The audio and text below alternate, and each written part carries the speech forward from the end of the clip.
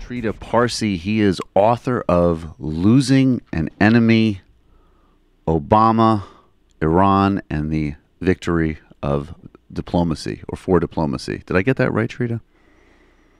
Triumph of Diplomacy. The Triumph of Diplomacy. Pardon me. Trita, thank you so much for joining us. Thank you for having me. So, Trita, I, I've I've spoken to you before. I've appreciated your work for a long time, and I really appreciated an interaction you had last week on MSNBC, where you were on a panel with Bill Kristol, who uh, most people listening to this or watching this will know is a kind of primarily known his sort of primary contribution to American life, I guess, other than sort of scouting Sarah Palin, is agitating for wars across the Middle East. And you were on this panel, and you had an interesting response to his um, claiming of affinity and solidarity with people inside Iran uh, marching for greater economic and civil rights. Yeah, essentially, I was giving a response explaining some of the causes for these protests and some of the causes for the economic grievances, which includes the uh, problems with sanctions relief under the nuclear deal caused by Donald Trump. And he jumps in and essentially rejects that and says that uh, the real only cause that exists is that the Iranians want freedom. And, and says that we need to respect the Iranian people. Now, of course, hmm. uh, the desire for freedom in Iran is very strong, but the idea that he would be telling me to respect the Iranian people, I was not going to let that pass without giving him an answer. And I pointed out to him that after years of arguing uh, bombing Iran and advocating killing Iranians, he's in no position to claim to respect the Iranian people.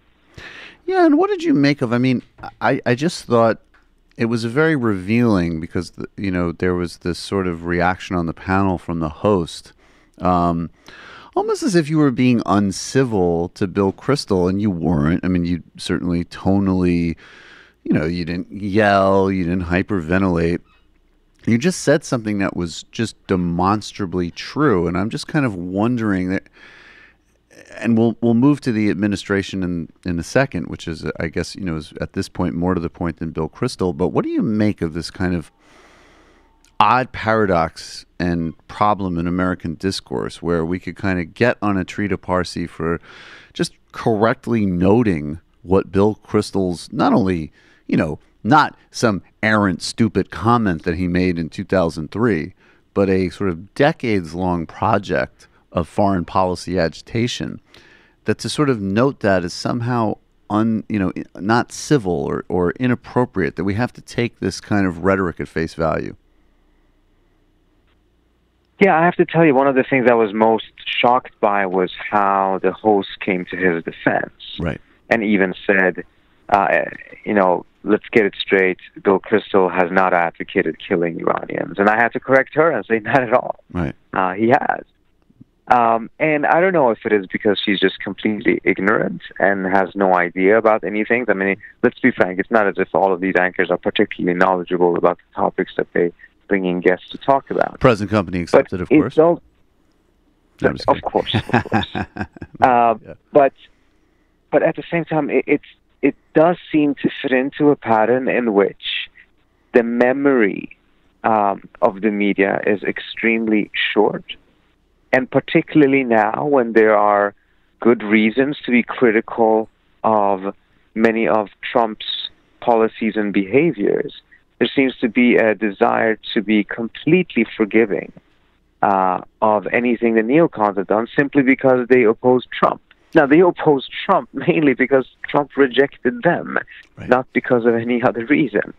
Um, but it's it's still highly problematic because just because they oppose Trump doesn't mean that that whitewashes what they have done with the Iraq War. That still is causing thousands of people to die in the Middle East and, and hundreds and hundreds of Americans who uh, continue to suffer from that war as well. It's it's it's pretty sad because if we allow ourselves to forget, rest assured, we will also allow us to repeat these mistakes.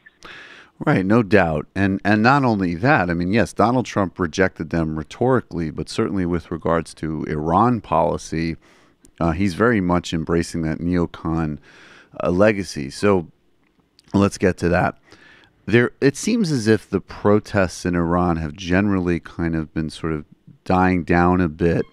Uh, you know, it's very unclear um, exactly what was happening with the reporting emanating out of Iran. My read was that a lot of the protests seemed to be driven by actually some very familiar issues across the globe. You know, inequality, uh, political cronyism, uh, dysfunction, dysfunctional and parasitic relationships between kind of the business class and the governing class, which have shrunk opportunities. Uh, there's that whole Instagram feed you can see of the the rich kids of Tehran, which are these you know the princesses and princes of the kind of government and, and other wealthy elites showing off their wealth. It seems like these protests were maybe very much not speci- uh, they there was an objection to the human rights record certainly, but a lot of the objections were also in on you know day in and day out issues that you might find in many other parts of the world. You know, uh, dealing with the the present situation we're in internationally.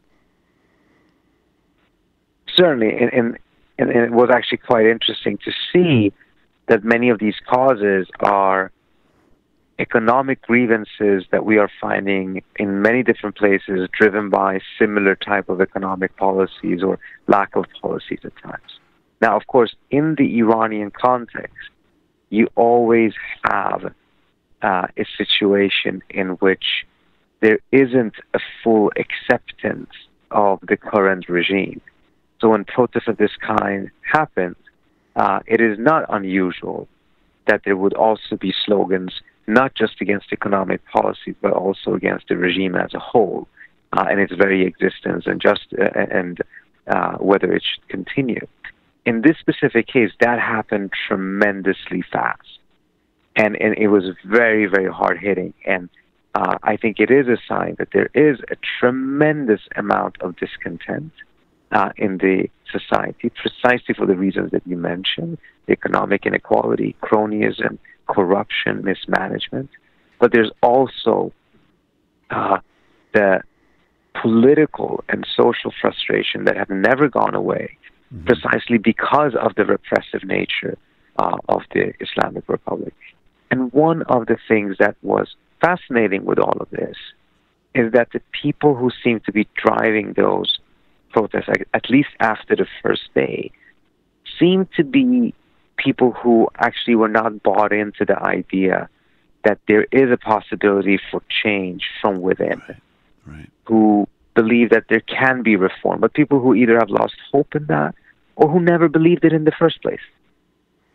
Now, do you think that that, and this will cover, I guess, the reactions inside. We'll talk about the reactions inside Iran itself before we get back to to uh, to Trump and, and the neocons and so on. The, uh, it, so the rea- the reaction was interesting because the the supreme leader basically blamed uh, outside agitators, and maybe you could speak to that as well. I don't think there's any contradiction between absolutely recognizing that there's plenty of organic and natural grievance and opposition inside Iran, and also that of course, the sort of intelligence apparatus of a foreign adversary might be interested in taking advantage of that. There's no real contradiction. But he basically came out and said, you know, this is all outside agitators, blah, blah, blah. Uh, President Rouhani seemed to strike a very different note. Yes, from the very beginning, uh, Rouhani adopted a different tone in which he was acknowledging the protesters' right to protest uh, acknowledging some of their frustrations. Um, and this was quite uh, quite unusual because I mean some of the slogans were targeting the regime as a whole and even calling for um, uh, Khamenei's death. So for him to come out and say that you know they have a right to protest, that's it is a way for him to also criticize the uh, conservatives. The background to all of this is that uh, in mid December, he gives a speech in the parliament and starts giving a hint about some of the things that's going to be in the proposed budget. And there he raises question marks about billions of dollars that are going to various conservative controlled Islamic charities with no accountability, no transparency, and starts essentially raising question marks as to why they should be in the budget in the first place. Hi, folks. Sam Seder here. We still need your help on our Patreon page. YouTube ads have come back, but not nearly as much as we had before. So if you can help us out, any little bit helps. Head over to our Patreon page right at this URL, and you'll help us keep helping you by making videos